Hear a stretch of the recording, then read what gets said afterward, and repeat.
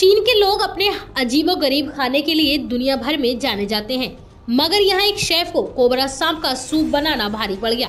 दरअसल, दक्षिण चीन के ग्वांगडुआंग प्रांत के फोशान सिटी के रहने वाले chef Pang Fan Indo Chinese spitting cobra सांप के मांस से बना सूप तैयार कर रहे थे, तभी उन्हें सांप के कटे हुए फन ने डस लिया। दरअसल, चीन में जहरीले कोबरा सांप के मांस से बने सूप को लोग काफ़ी पसंद करते हैं।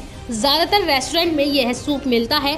शेफ पेंग फ़ैन ने स्पिन कोबरा का सिर काटने के बाद सूप बनाने में 20 मिनट का समय लगाया। इसके बाद शेफ किचन की सफ़ाई करने लगे। कुछ समय बाद शेफ ने सांप के कटे हुए सर को कचरे के डिब्बे में फेंकने के लिए उठाया, तभी अचानक कटे हुए फन ने शेफ को डस लिया।